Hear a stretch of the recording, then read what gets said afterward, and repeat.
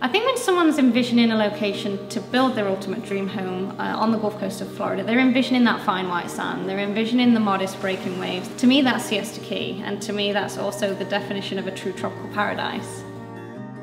Now an opportunity like this one here at 1214 Sharswood Lane really doesn't come around too, too often. I mean you've got one of literally only 14 residents within that gated community of Spice Bay and it's not only um, architecturally stunning but it also takes the premium quality of build really to a whole other level. I think one of the more special things about uh, this particular layout and what we strive for on a lot of projects is natural light, both indoors and out, uh, where you can, when you're outside, you can have bright sunshine, you can have shaded sunshine.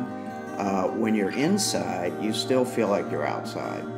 Now you have Nautilus Homes and anyone who's ever had the privilege to work alongside them know that they're absolute perfectionists. Not only do they understand but they also master the need for that open airy space in a home and they've really focused heavily on integrating that indoor and outdoor living because that really is what people are looking for when they're coming down here to spend their days here on Siesta Key.